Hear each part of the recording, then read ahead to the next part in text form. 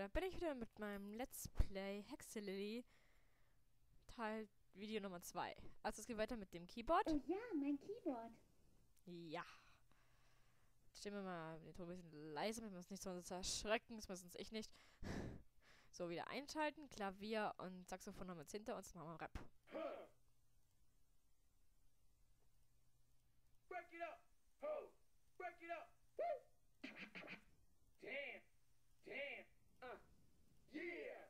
Hit it like that!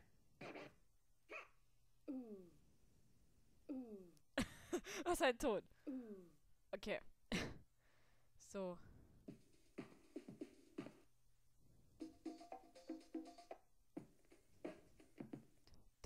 Okay, Streicher.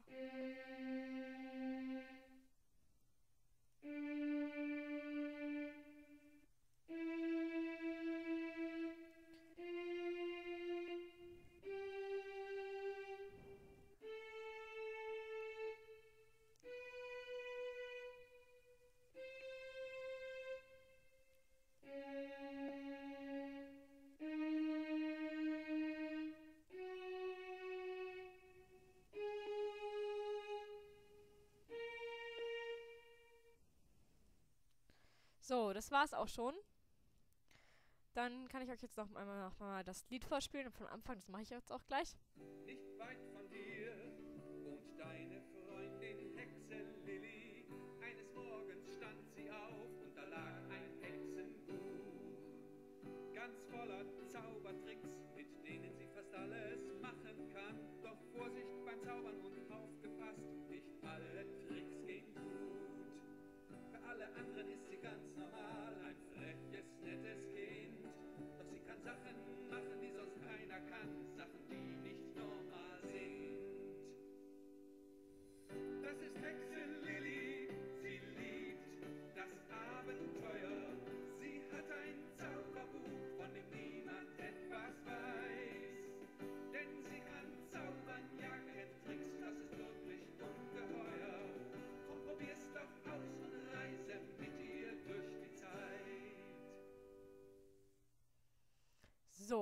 wir können jetzt das Reihe nochmal anklicken.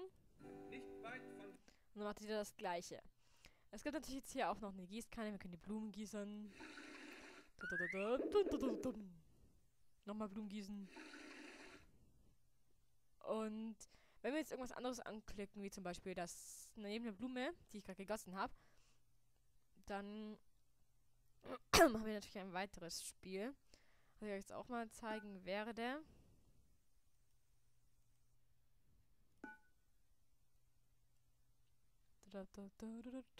Oh, ich, bin auf ne, ich bin auf einem Hexenbesen und es fallen mir solche Steine entgegen. Es wird natürlich nach einer Zeit immer schneller und schwieriger. Ja, das glaubt ihr nicht. Aber man kann es sehen, wie es langsam die Steine immer schneller werden.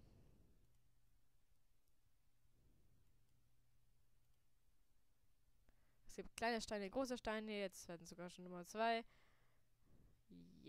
Also ich schau mal, wie weit ich komme. Aber jetzt bin ich kaputt.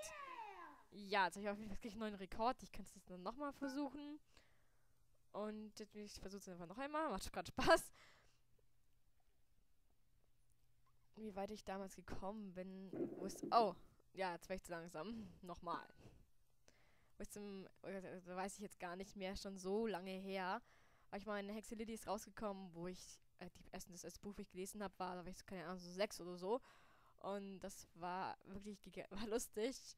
Das kleines Mädchen und das erste Spiel, was ich wirklich damals richtig gespielt habe und durchgespielt habe, war Tomb Raider. Und dann ha- habe ich mal rausgefunden, dass es bei Hexe Lady auch ein Spiel gibt und dann habe ich auch Tom Hexe Lady gespielt.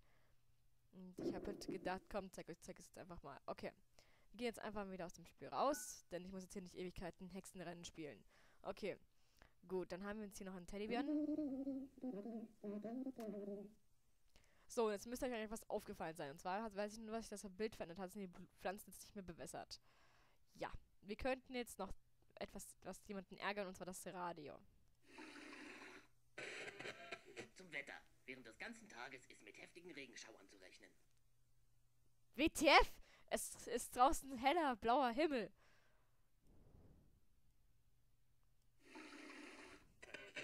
Ich wiederhole mich zwar nur ungern, aber jetzt nochmal zum Mitschreiben. Während des ganzen Tages ist mit heftigen Regenschauern zu rechnen.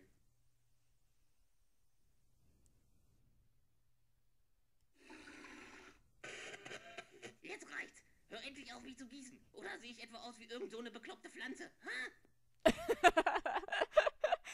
Jetzt reicht's. so, nochmal. Jetzt habe ich die Schnauze aber endgültig voll. Ich sag jetzt gar nichts mehr. So.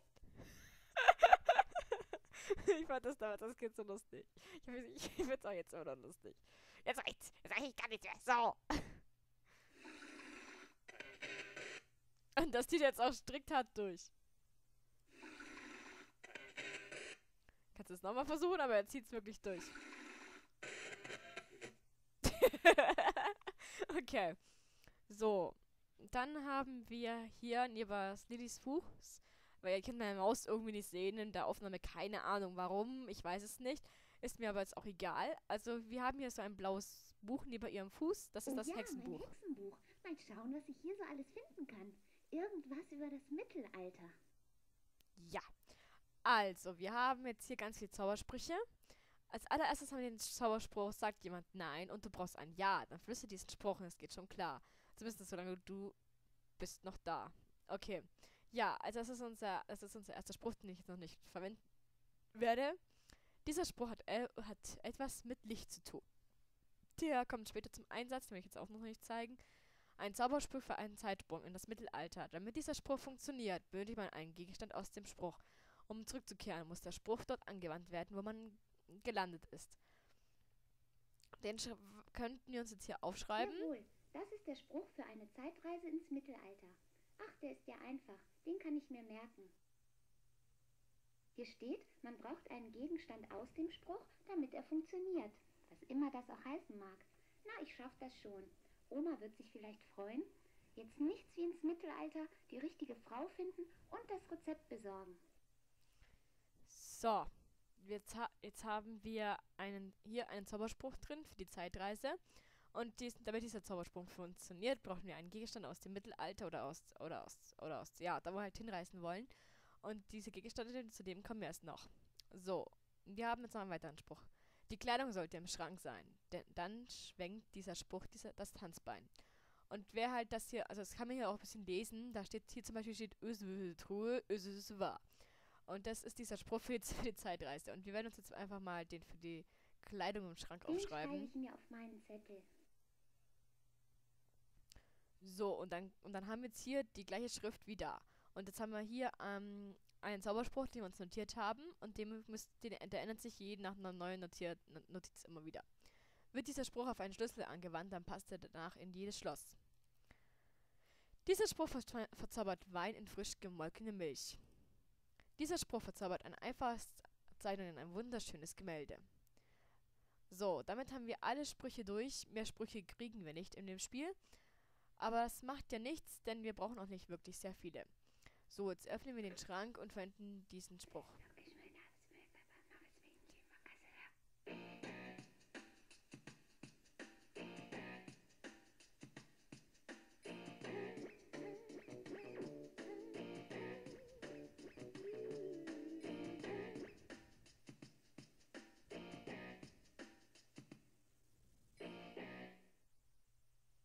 So. Dann verlassen wir jetzt mal ihr Zimmer.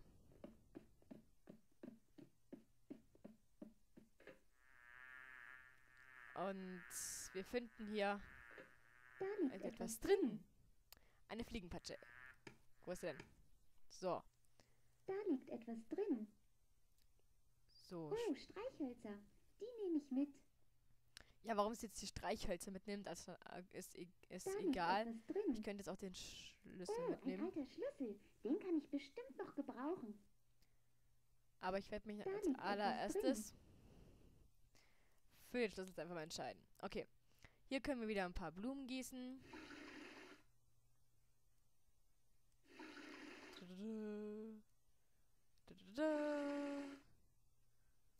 So, dann haben wir hier noch das Telefon. Nein, ich möchte jetzt niemanden anrufen. Omas Familienrezept wartet darauf, von mir gefunden zu werden. Uh, Ein Bild des ersten Mannes auf dem Mond. vielleicht zaubere ich mich auch noch mal dahin, aber mh, nicht jetzt. Ja, auf dem Mond reist du auch noch. Meine Eltern sagen immer, das ist Kunst, aber ich finde, das sieht aus, als hätte Leon gerade ein bisschen mit einem farbigen Pinsel gespielt. So, dann haben wir jetzt hier noch einen Spiegel. Oh, was für ein schönes Bild.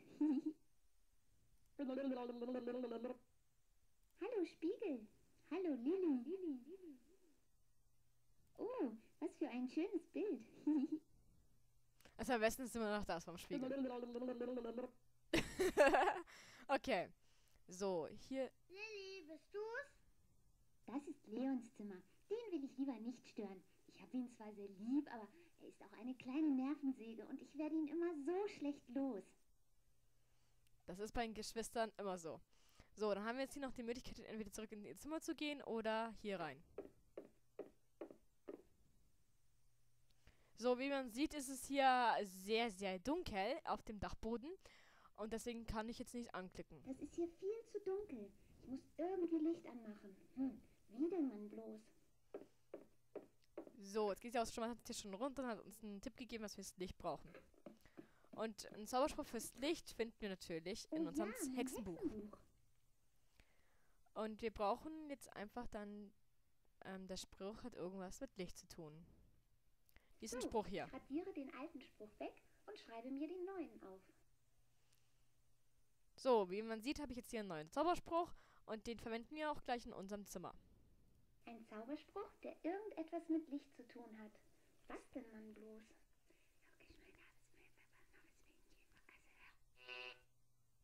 Hoppla!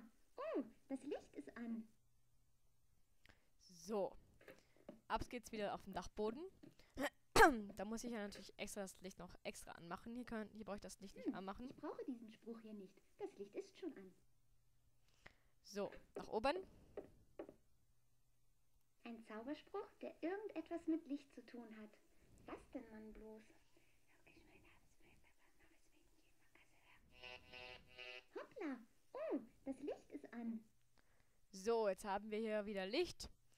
Und wir gehen jetzt trotzdem zurück in ihr Zimmer, denn wir brauchen einen anderen Zauberspruch.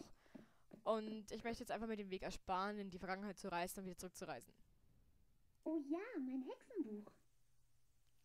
So, und zwar brauchen wir den Spruch, sagt jemand Nein und du brauchst ein Ja. Dann flüster diesen Spruch und es geht schon alles schon klar. Zumindest, solange du, du bist noch da. So, das nehmen wir mit. So, ich radiere den alten Spruch weg und schreibe mir den neuen auf. So, und auch hiermit endet dieses, dieses Video von diesem Let's Play. Das zweite, der zweite Teil. Und wir sehen uns im nächsten Teil. Bis dahin. Ciao! Willst du wirklich aufhören?